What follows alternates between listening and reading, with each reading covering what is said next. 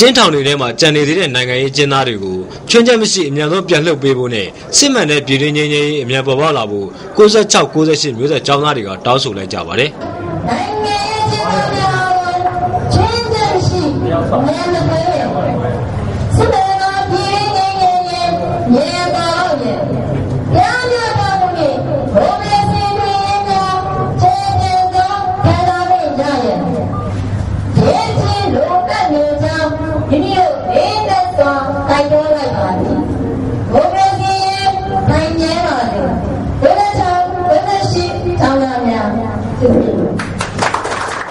နှစ်ပေါင်း90အတွင်းဖြတ်တန်းခဲ့ကြတဲ့ចောင်းသားခေါင်းဆောင်မျိုးဆက်တွေရဲ့ပထမဆုံးအကြိမ်မိတ်ဆက်တွဲဆုံလက်ဖေးတောက်ပွဲမှာအခုလိုပြောဆိုလိုက်တာပါဒီမိတ်ဆက်တွဲဆုံပွဲကိုရန်ကုန်မြို့တောင်ကလာပါမြို့နယ်ကစိတ်တိုင်းကျစားရိပ်မြို့အပေါ်တက်မှာဖေဖော်ဝါရီလ10ရက်နေ့ကပြုလုပ်ခဲ့တာဖြစ်ပါတယ်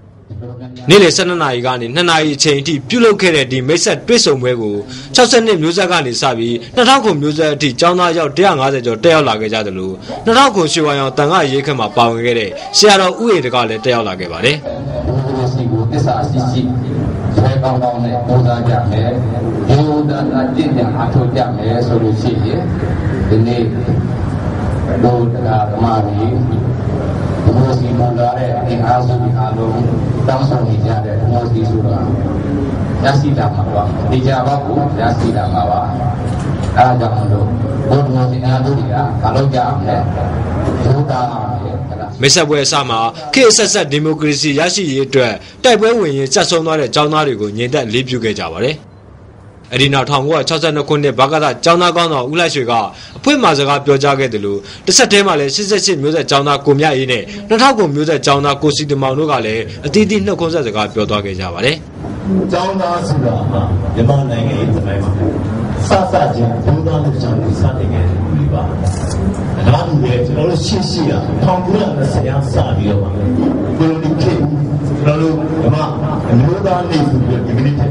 အားလုံးမှာဖတ်ရရှိတဲ့ဘုံထောင်းပြီးတဲ့ဒီပါကောင်းကတမကအဆောင်ကြီးอ่ะဘုရားဖြစ်စီခံရပါတယ်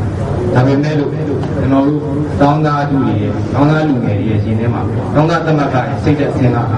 ရားဒီရှင်တိုင်းနေတယ်ပါပဲပါ။ဒါအပြင်82ကျောင်းသားမျိုးဆက်နဲ့96ကျောင်းသားမျိုးဆက်တွေကလည်းအသီးသီးနှစ်ကွန်းဆက်စကားပြောသွားခဲ့ကြသလိုအချို့ဒီပွဲကိုမတက်ရောက်လာနိုင်ကြတဲ့ကျောင်းသားတွေရဲ့ပြေးပို့တဲ့တန်ဝါလာတွေကိုလည်းဖတ်ကြားသွားခဲ့ကြပါတယ် 96 98နိုင်ငံရေးလှုပ်ရှားမှုများတွင်ပါဝင်ခဲ့ကြသောကျောင်းသားများမှပေးပို့သောကွယ်လွာဖြစ်ပါလိမ့်မယ်။96 98သည်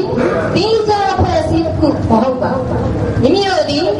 88မိုကရေစီရေးတော်မှစ၍